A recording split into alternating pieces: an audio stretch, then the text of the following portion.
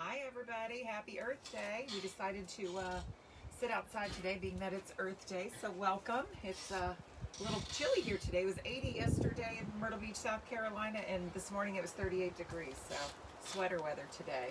Um, if you're just joining us, be sure to like, share, and tag a friend. We're going to do a drawing at the end of the reading to give away some books. A little windy.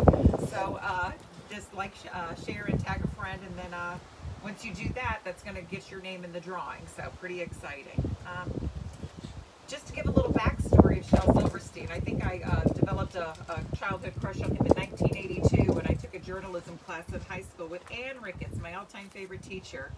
And uh, Shel Silverstein was someone I was assigned to as a report so to do a report. So I started doing my research on him. What I found him was really quite fascinating, just his accomplishments. He is an American writer, a poet, cartoonist. He's done tons of music, music that I'm sure you're familiar with. If you're not familiar with Shel or his background, he wrote uh, Johnny Cash's A Boy Named Sue. He wrote Dr. Hook's The Cover of the Rolling Stones. Uh, he has won two Grammys uh, and then was nominated for Golden Globe and an Academy Award. Did not win, but was nominated, so it's pretty great.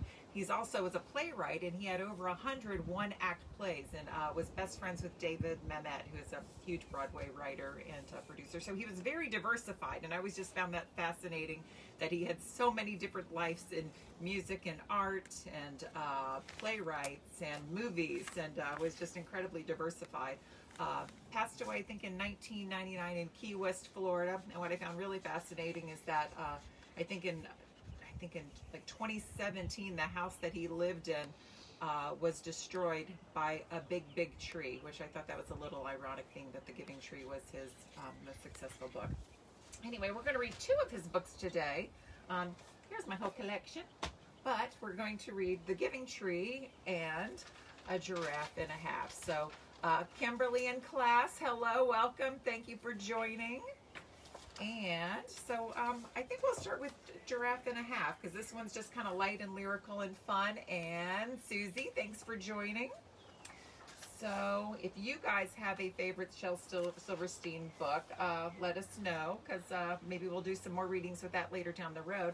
The other thing that I had purchased in uh, the early 2000 when my kids were in their early years and young, young teens was uh, Shel Silverstein had a um, um, a CD and it was the best of Shel Silverstein and it's where he does readings and then like Johnny Cash does a boy named Sue on it but it is one of the funniest CDs and it's basically readings and um, songs, but very, very funny. Your kids will love it. My kids love the CD. We wore it out and had to buy several copies over the years, but I couldn't find my copy today. But it's also on Amazon Music and um, I think an MP3 file. You can download it. But Jennifer, my, Idaho, hello, hello.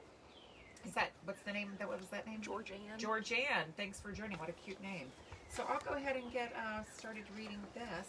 I just got this copy and it's in color, so I thought that was interesting because most of his books, only The Giving Tree is the one that's printed in color, actually, and the rest are all in black and white, but I found this one with a color cover, so I had to swipe it.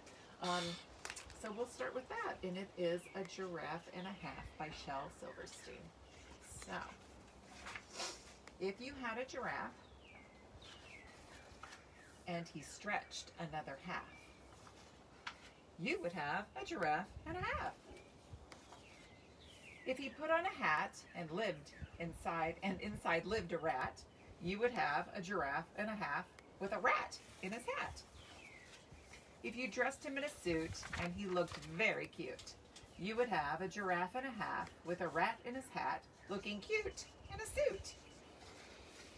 If you glued up a rose to the tip of his nose, you would have a giraffe and a half with a rat in his hat looking cute in a suit with a rose on his nose. If a bumbly old bee stung him right on the knee, you would have a giraffe and a half with a rat in his hat, looking cute in a suit with a rose on his nose and a bee on his knee. If he put on a shoe and then stepped in some glue, you would have a giraffe in a hat with a rat in his hat, looking cute in a suit with a rose on his nose and a bee on his knee, and some glue on his shoe. If you have, if you gave him a flute and he played tooty toot, you would have a giraffe and a half with a rat in his hat, looking cute in a suit with a rose on his nose and a bee on his knee, and some glue on his shoe, playing toot on a flute. If he used a chair to comb his hair, you would have a giraffe and a half with a rat in his hat, looking cute in a suit with a rose on his nose and a bee on his knee, and some glue on his shoe, playing toot on a flute with a chair in his hair. If he tripped on a snake who was eating some cake, you would have a giraffe and a half with a rat in his hat, looking cute in a suit with a rose on his nose and a bee on his knee, and some glue on his shoe, playing toot on a flute with a chair in his hair and a snake eating cake. If he found an old trunk and inside was a skunk, you would have a giraffe and a half with a rat in his hat, looking cute in a suit with a rose on his nose and a bee on his knee and some glue on his shoe, playing a toot on a flute with a chair in his hair and a snake eating cake and a skunk in a trunk. If he met a fat dragon who sat in a wagon, you would have a giraffe and a half with a rat in his hat, looking cute in a suit with a rose on his nose and a bee on his knee and some glue on his shoe, playing toot on a flute with a chair in his hair and eating and a snake eating cake and a skunk in a trunk and a dragon in a wagon. If he jumped on a bike and he rode over a spike, you would have a giraffe and a half with a rat in his hat, looking cute in a suit with a rose on his nose and a bee on his knee and some glue on his shoe, playing toot on a flute with a chair in his hair and a snake eating cake and a skunk in a trunk and a dragon in a wagon and a spike in his bike. If a blueberry whale got a hold of his tail, you would have a giraffe and a half with a rat in his hat, looking cute in a suit, with a rose on his nose and a bee on his knee and some glue on his shoe, with playing toot on a flute, with a chair in his hair and a snake eating cake and a skunk in a trunk and a dragon in a wagon and a spike in his bike and a whale on his tail. If he fell in a hole that was dug by a mole, you would have a giraffe and a half with a rat in his hat, looking cute in a suit with a rose on his nose and a bee on his knee and some glue on his shoe, playing toot on a flute with a chair in his hair and a snack, a snake eating cake and a skunk in a trunk and a dragon in a wagon and a spike in his bike and a whale in his tail and a hole with a mole. But if you brought him a pole to climb out of the hole, and the whale left his tail and went off for the mail, and he gave the spiked bike to a scout on a hike, and he left the fat dragon because his wagon was sagging, and gave his chair to a tired old bear, and he traded the flute to a bird for some fruit and told the old snake to go jump in a lake. And a man bought junk, bought the trunk with the skunk. And he gave the rose to a girl he chose, while the bee on his knee flew away with a flea. And he put the shoe with the glue on you, and that silly old rat ran away with his hat and he put his suit in the laundry chute and he shrank another half, you would have a giraffe. So, a little poem there he extended into a story. A shout out to Buzz Media, who does all my viral media and uh, websites. If you guys are looking for somebody, Logan Creech with Buzz Media, fantastic. If I could do a whole podcast on her greatness. And then, so, oh, we've got lots of people joining. So, Tracy and Elijah, Brenda, Jonathan and Ava, Claudia, Caroline, Tina, and Adam. Oh, my son Adam is even watching. How how exciting is this? Well, I, maybe I should do a dedication to Adam as I read this. Oh, a like and tag, and make, be sure to share, guys. So that's what gets you in the drawing for the free books. So, and also, Today is my niece's birthday, Jessica Orlowski, who lives in New Orleans. So happy birthday, Jessica. And winner number one, Kimberly and Jeremy. Yes? That's her full name. Kimberly and Jeremy. How what a cute name. All these cute names. All right, so Kimberly, uh, happy winner. So you get the first set of books. Yay. I had to scramble for this today because I've had so many copies over the year and I couldn't find a copy of this this morning. So I went through the like the kind of the kitty um, library in the house and found it. And this is the actual book that I gave to my eldest daughter, who is now almost 33 years old. And this was given to her when she was three months old, her first Christmas. And it and I opened it up today, and then the inscription of uh, of where I wrote to her was there, and that made me a little teary, but that's okay. Um, anyway, her artwork in there. It's all covered in just, I mean, this book has been worn and loved. So we're going to do the Giving Tree now, and it's about just a love story basically between a parent and a son. So I'm glad my son's on the call. So, but I think he gets it. So we'll start for that. Oh, Doug and Kenny, nice to see you. Thanks for joining. And then uh, here we go, The Giving Tree by Shel Silverstein. So, once there was a tree, and she loved a little boy. And every day the boy would come, and he would gather her leaves and make them into crowns and play king of the forest. He would climb up her trunk and swing from her branches and eat apples. And they would play hide and go seek. And when he was tired, he would sleep in her shade. A little sticky there. And the boy loved the tree very much. And the tree was happy. But time went by, and the boy grew older. And the tree was often alone. Then one day the boy came to the tree, and the tree said, Come, boy, come and climb up my trunk and swing from my branches, and eat apples and play in my shade, and be happy.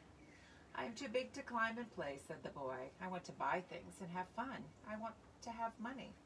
Can you give me some money? I'm sorry, said the tree, but I have no money. I have only leaves and apples. Take my apples, boy, and sell them in the city.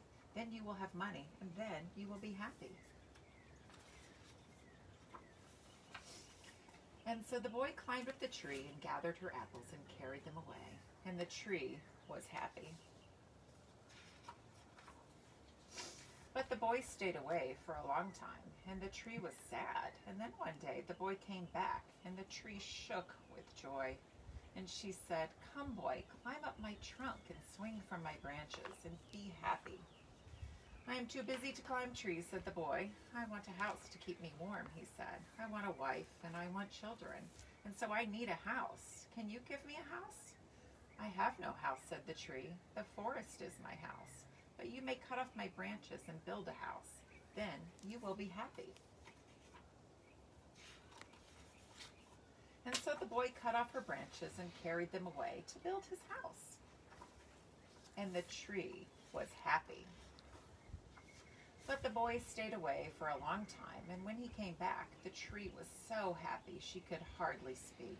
Come, boy, she whispered, come and play. I am too old and sad to play, said the boy. I want a boat that will take me far away from here.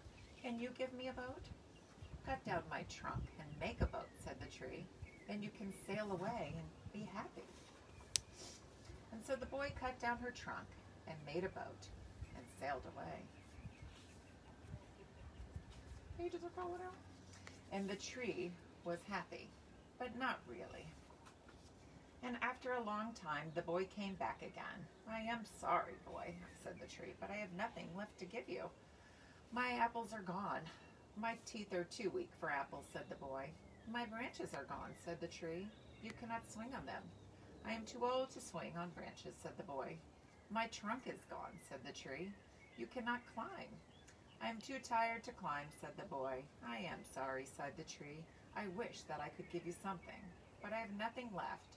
I am just an old stump. I am sorry. I don't need very much now, said the boy. Just a quiet place to sit and rest. I am very tired. Well, said the tree, straightening herself up as much as she could. Well, an old stump is good for sitting and resting. Come, boy, sit down, sit down and rest. And the boy did. And the tree was happy. The end. There you go. So who else do we have? Oh, we have Brenda and Karen. Thanks for joining us. And do we have another winner? Um, give me one second. Okay, so uh, again, my Facebook page, you guys obviously are aware of that, but then JJ Allen Book Author um, dot com is my uh, regular website, and you can actually order books through there, and I can send signed copies on that. They're actually a little bit cheaper on that site as well. Here's your my favorite everything. And welcome Jennifer. Is she the winner or Yeah. Jennifer? Oh, Jennifer Barnett. You're the second winner. So we're gonna get copies of both of my books. And the other one is obviously inside the house. But you're my favorite everything. Uh, there's a bug in a tub. It won't get out. So we'll get your information and get those signed copies out to you. And oh, and oh, message message. We wanted to message us. Yeah. Okay, so you're gonna we'll message you or you'll message us. We'll find you, and then we'll get those. We'll find you, and then we'll get those books out to you. And then my next book, Proof of Tooth, will be out literally anytime now. I'm gonna say in the next month or so. We're going for June, um, but just doing some final edits on those illustrations. It's a slow process, but. Just say their names one more time. So Jennifer Barnett is the winner, and Kimberly and Jeremy. Kimberly so, and And it's A N. Is it's Yes. just that's so cute. There's just that was confusing. I thought you missed the D. Kimberly and Jeremy. So. Uh, so thanks guys for joining us. We'll be doing maybe once a month. If you have suggestions or improvements or something that you would like to see or uh, have read, uh, give us a shout. And also, I do a lot of readings for schools. I've done a couple via Zoom, and they have gone so well. What I tell you, uh, uh, just the interaction with the kids is great. So if you have obviously children in school, if you're connected to any schools, daycares, I will do live readings uh, via Zoom all the time. I love them. They're actually probably my favorite things to do. Oh, she's in the class. So She's Kimber, the teacher. so Miss Jeremy. yes. So Miss Jeremy is the winner. Maybe we'll send a couple copies for her class then, being that you are a class. So if you guys have uh, any feedback, uh, kind or unkind, I take it all. So just give us a, a buzz and uh, look for our next reading. And I'm happy to do readings for schools as well. So you guys have a great day. Happy Earth Day, and I look forward to seeing you again soon.